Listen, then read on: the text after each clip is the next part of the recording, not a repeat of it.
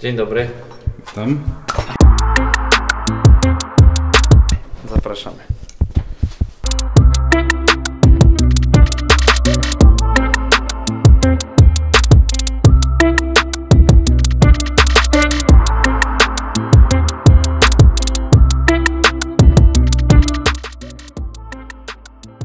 Znaczy na pewno mam bardzo duży sentyment do, do klubu z zawiercia, do całego zawiercia i e, do osób, które tam pracują, które stworzyły to, co się teraz w zawierciu dzieje. E, Nie mogę powiedzieć złego słowa na pewno.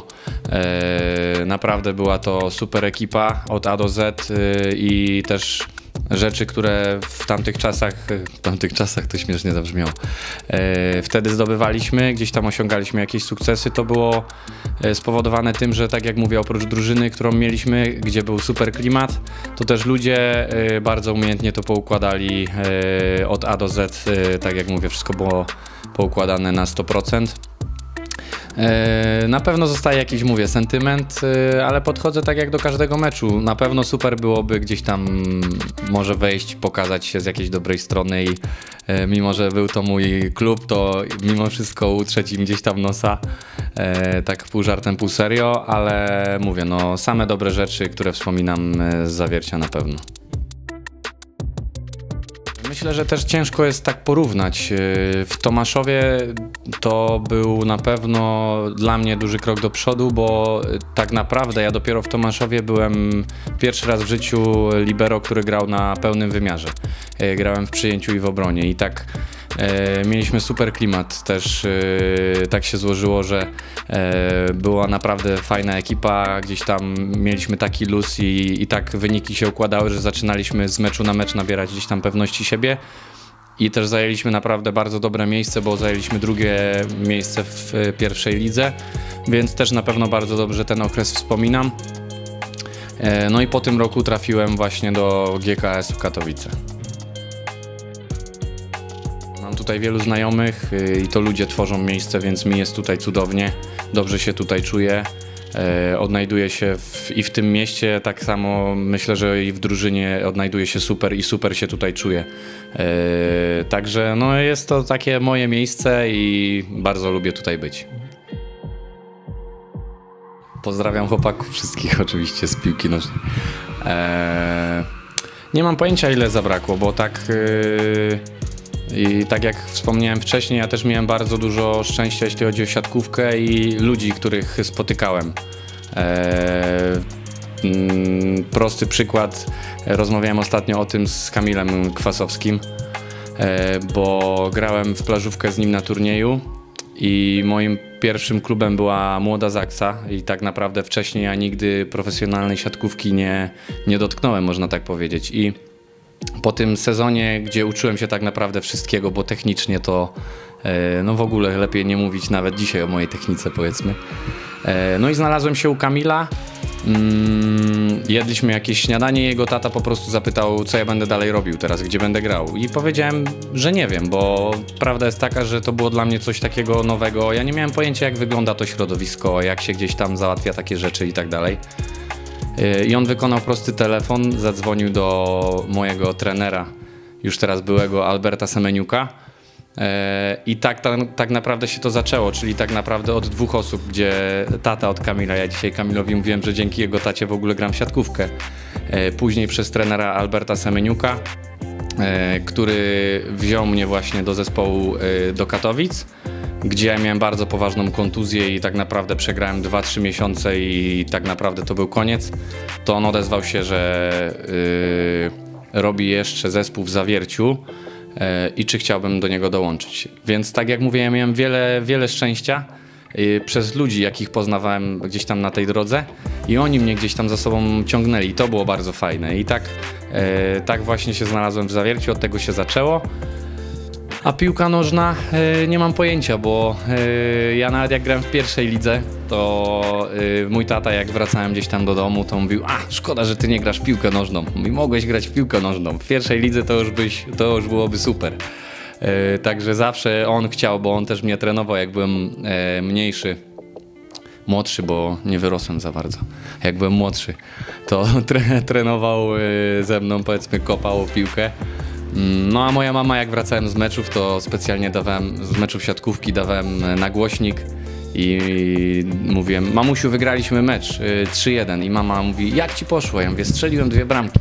Ja mówię, o to jestem bardzo dumna z ciebie, także ta piłka się przewijała bardzo długo, ale mm, nie miałem nigdy też możliwości spróbować się gdzieś tam w wyższej lidze. Także czekam na zaproszenie do, do naszych piłkarzy i może mnie czegoś nauczą. Może jeszcze coś ze mnie będzie, także. Sport mnie na pewno uratował w jakiś sposób, bo y, tak jak lubię, lubię robić wiele rzeczy, tak y, w sporcie można dać upust swoim emocjom i, i w taki pozytywny sposób na pewno. Y, więc to było dla mnie super. Y, ale to tak jak mówię, to ja miałem bardzo dużo szczęścia, że y, to, że kocham grać w siatkówkę stało się moją pracą. To tak jak mówię, to wiele czynników się na to złożyło, ale no tak jak we wszystkim potrzebne jest też szczęście. Szczerze powiedziawszy, bardzo mnie to zmieniło. Myślę, że każdego w jakiś sposób to gdzieś tam kształtuje, yy, takie rodzicielstwo i tak dalej. Yy, Mi to pomogło bardzo gdzieś tam w oddzieleniu takich emocji związanych ze sportem, bo nie ukrywam, że dwa lata temu, kiedy trafiłem do Plus Ligi yy, w wieku 28 lat, to ja nie jestem żadnym młodym, perspektywicznym zawodnikiem, aczkolwiek yy, patrząc na to ze strony doświadczenia, jakie ja miałem, to ja mogę szczerze powiedzieć, że trafiłem do Gieksy, do Plus Ligi po roku grania, bo y, w Tomaszowie, poprzedzający sezon przed GKS-em Katowice, y, ja pierwszy raz w życiu grałem na pozycji libero i w przyjęciu i w obronie. E, Tak jak wspomniałem, ja nie grałem w żadnym klubie w młodzików, w juniorze nigdy, więc y, na pewno mi brakowało techniki i wielu, wielu innych rzeczy. I z ręką na sercu i bez problemu przyznaję, że po prostu mnie to przerosło i tak wiemy, jak możemy się zablokować jako sportowcy, też y, w takich sytuacjach, gdzie chcemy coś bardzo zrobić, komuś udowodnić, a przede wszystkim sobie. No i sami się tym blokujemy, bo wkładamy sobie za dużo do głowy. I, i w tym mo- momencie pojawiła się Lenka po sezonie już yy, w Katowicach. Yy, I zauważyłem, że tak naprawdę przestałem przekładać jakieś swoje mm, sportowe osiągnięcia albo porażki, takie małe porażki, bo każdy trening tak naprawdę dla nas to. No my nie mamy tak, że przegramy mecz w sobotę, a od poniedziałku do piątku jest super. Tylko każdy z nas gdzieś przeżywa, jeśli ma zły trening w poniedziałek, to każdy z tyłu głowy gdzieś to ma. I po prostu jak się wraca do domu, to się to odcina. I to mi strasznie pomogło. I mimo, że, e, że było ciężko, bo wiadomo jak to z małym dzieckiem, e, trzeba się nauczyć do nieprzespanych nocek, gdzie ja mm, powiedzmy jako sportowiec, wracając z siłowni z treningu e, ra, rannego, e, gdzieś wkładając dziurkę, y, klucz do dziurki od klucza, już y, praktycznie na kolanach wiedziałem, że zaraz będę w łóżku, bo jestem tak wykończony, że przecież po siłowni albo po porannym treningu trzeba się położyć, a przy dziecku po nieprzespanej nocy nie było czegoś takiego i ja się zastanawiam w pewnym momencie, mówię, kurczę, wcale nie trzeba tak naprawdę codziennie robić tej drzemki i teraz nawet jak ją zrobię, to się źle czuję. I mówię, także dużo się zmieniło, ale y, zmieniło się jak dla mnie na plus. Wydaje mi się, że jestem lepszym zawodnikiem, bo y, staram się, da, daję z siebie 100%, ale wracam do domu i odcinam to, co było. Nie wkładam sobie niepotrzebnych rzeczy do głowy, bo tak naprawdę całe moje szczęście jest tutaj w domu. To jest najpiękniejsza rzecz, jaka może chyba spotkać człowieka, e, czyli tam tacierzyństwo, że tak nazwę. Mm, więc jeśli chodzi o piosenki, e, no to wiadomo, że gdzieś tam zmienia się myślenie i e, jeśli są takie kawałki o, o, o tam o dzieciach i o rodzicielstwie, no to wpadają w ucho, ale ja po prostu jestem gdzieś tam mega fanem rapu, także jakoś trafiają e, takie teksty bardziej do mnie i, i chyba tyle. Ostatnio przebywam dużo z Jankiem Nowakowskim, który próbuje mi wpoić słuchanie metalu. Jeśli źle coś powiedziałem, Janek to mnie najwyżej poprawi.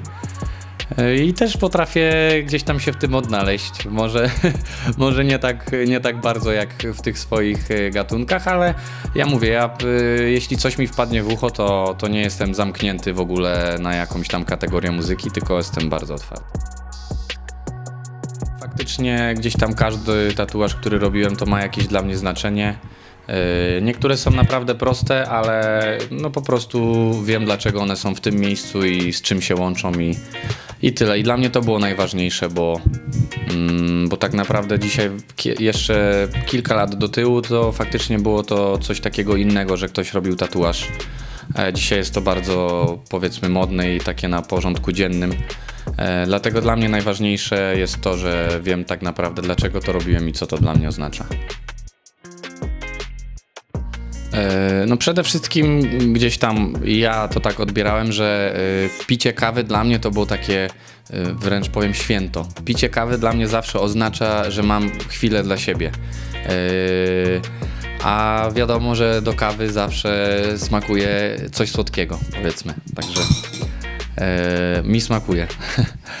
I przez to, że jestem sportowcem, e, no to lubię być świadomy tego, co jem i nie chciałem pakować w siebie jakichś tam e, niezdrowych rzeczy, powiedzmy, które mają tonę cukru i tak się w sumie zaczęło. E, zacząłem coś tam piec, robić właśnie jakieś ciasta na zimno, zobaczyłem, że to wcale nie jest takie trudne i, i tak się zaczęło. A tutaj w Katowicach mm, przez Janka Nowakowskiego znowu, e, który robi zdjęcia tak, że w, trzeba naprawdę oglądać je na boso, bo wyrywają z kapci. E, To zacząłem też się naprawdę pasjonować i zaraził mnie tym, za, zacząłem się e, pasjonować troszeczkę fotografią i mm, te ciasta też wyglądają totalnie inaczej. Można zrobić takie zdjęcie, że po prostu mi się to podoba, więc też staram się oprócz tego, żeby, wiadomo, bardzo ważne, żeby były smaczne, to staram się, żeby też ładnie wyglądały. A co najważniejsze, y, tak jak mówię, bardzo lubię towarzystwo ludzi, e, więc jak ktoś przyjeżdża i jeszcze powie, że mu smakowało, wypije dobrą kawę, to dla mnie to jest e, coś, coś pięknego. Każdemu też się, tak mi się wydaje, powinien kojarzyć dom rodzinny. My jak tam wracamy, to jesteśmy totalnie wyciszeni, wracamy do takiej, takiej natury, bo są konie, gdzieś tam biegają psy, koty. Yy, Jest to wioska taka, gdzie nie ma nawet sklepu, nie ma 100 osób.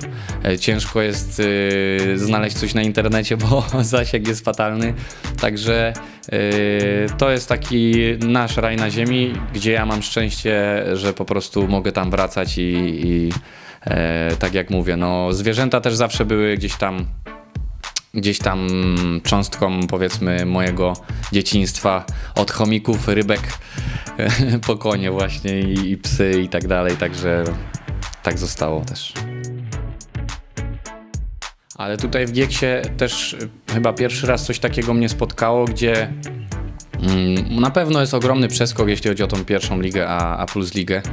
Ale spotkało mnie coś takiego, że oprócz tej atmosfery to się fajnie przekłada na treningi, że e, nawet jak coś tam nie wychodzi, to chłopaki potrafią e, odwrócić to w tą stronę, że wszyscy pracują, żeby to zaczęło działać. A mimo, że mamy naprawdę doświadczonych zawodników, którzy grali w kadrach i mo- mogłoby się wydawać, że przychodzi taki ogórek, który nie umie odbić piłki i, i oni go zjedzą.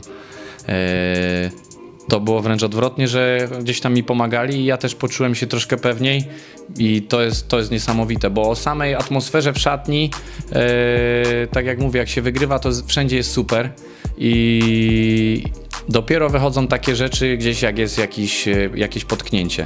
I u nas naprawdę bardziej widać to wsparcie, a nie, mm, nie takie wahadełko, że jak jest super, to jest super, jest atmosfera, tylko naprawdę tutaj to wsparcie jest ogromne, także to jest najważniejsze, bo tak jak mówisz, no u nas takich agentów z szatni to jest naprawdę kilku. Boję się jednej rzeczy, że jak każdego by się zapytało, to każdy powie, że tak, nasz kwadrat y, jest najbardziej aktywny, tak, ale nie wiem czy jest, czy nie, ale mm, na pewno naszym chłopakom się gra łatwiej, jak y, coś tam się dzieje i nie ma kibiców, na pewno zawsze to było ogromne wsparcie, więc no musimy to w szóstkę nadrobić tak naprawdę. Więc no i troszkę, troszeczkę mamy przy tym zabawy, żeby gdzieś tam pokrzyczeć, a z drugiej strony to myślę, że po prostu dajemy wsparcie.